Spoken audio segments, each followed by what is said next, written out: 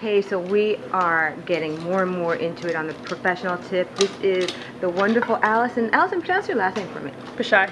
Bashar, who is now my own personal like stylist. Can you like just say how much fun it is to look at clothes if you don't have to worry about buying, etc.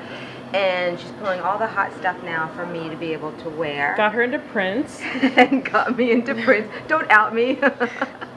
and Allison, how long have you been doing this again? Uh, styling about four years. And you've just been like hooking up all kinds of people. Well, you also do like personal shopping as Yeah, well. Yeah, personal so shopping is my main avenue. Um, I do that's photo shoot styling and from the Nordstrom bag and whatnot. Yeah.